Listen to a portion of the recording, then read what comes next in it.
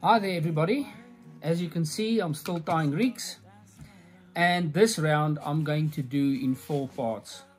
I am covering today the spinner rig.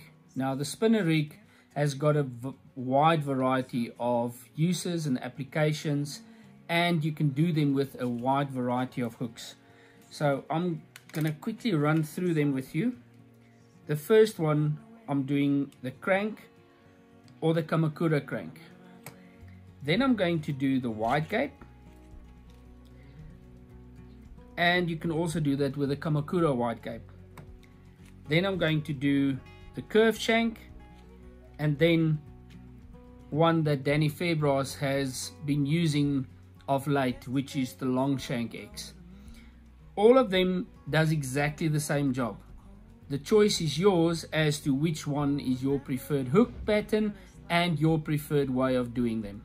So let's start off today by doing the crank. All my spinner rigs start off with exactly the same boom section. Now you can select either a five and a half inch or a seven and a half inch uh, section. The back part being the slightly bigger loop and the front part being a slightly smaller loop. And you will notice that there's no ring on my spinner swivel because I cut that off. Now I start off by taking a 26 centimeter piece of 25 pound boom and I cut the line at both ends at an angle because it just goes through the crimp much easier. Now I take my 0.6 crimp and I just slide the line through the barrel. I fold it back. And through the other barrel. Like that. Now I've got my little loop. I take my crimping tool and the small one the one on the front. Just make sure that your crimp sits upright in the crimp tool and you press down on it. There we have it. Now all I need to do is just cut off the tag end and my first loop is made.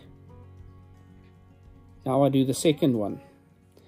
For the second one I take my crimp first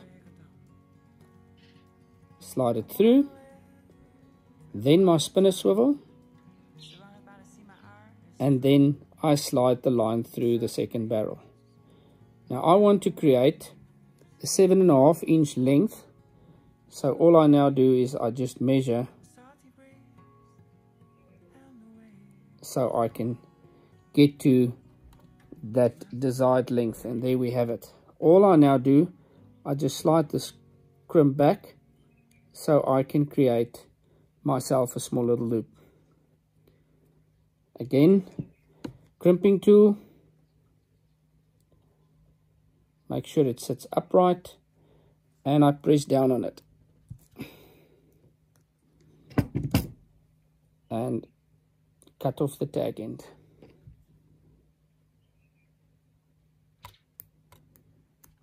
There we go. Now I stretch my boom section so I take my puller tool and my choddy tool and I pull and I stretch it literally three times and then I've got a straight piece of boom section.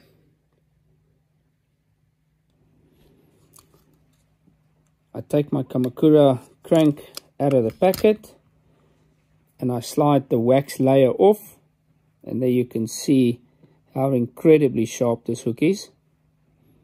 Now I take my kicker, there it is, and I cut a piece off because I want the back end to sit in a very particular way. And you will notice now when I slide the hook over the kicker like so. The next stage is I take my micro ring swivel and I hook it on like that. And now I take my hook bead. Let me just get the hook right. Pop the hook bead on. Turn the hook on its back. And just with my thumbnail, I pass it over. So there I have one portion of the rig completed. All I need to now do is take my boom section and I take the spinner swivel and I just hook it on like that. Now I need to just pull on the kicker and slide the hook bead over. And there you have it.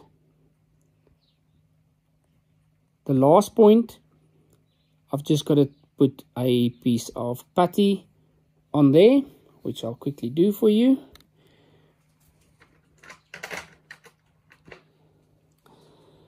take my dark matter putty select a piece of not too big and also not too small. I actually like to overweight this and I just press it onto the crimp and I mold it.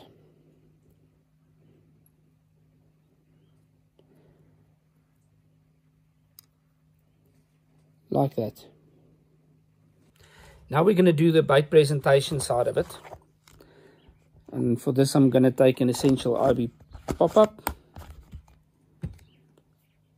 I need floss. I need my lighter. And I need a floss cap. So let me just put the floss cap there. There we go now it's as simple as taking the floss cap and pressing the floss cap into the bait like that.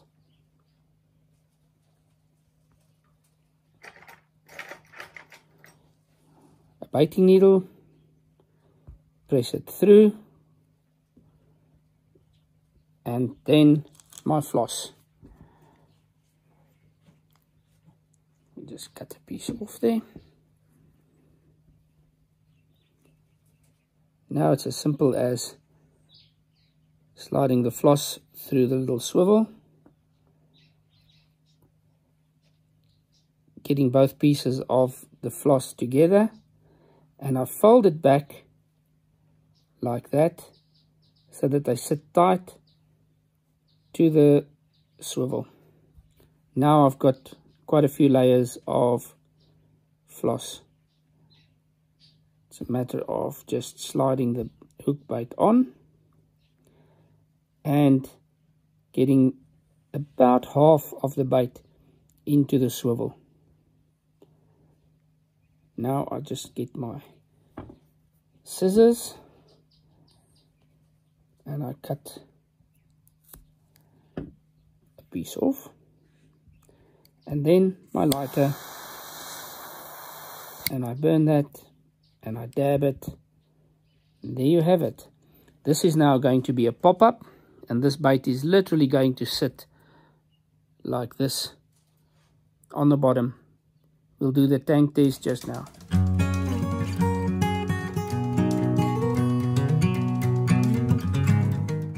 And there you have an absolutely beautiful presentation of a pop-up on a spinner rig with a size 4 crank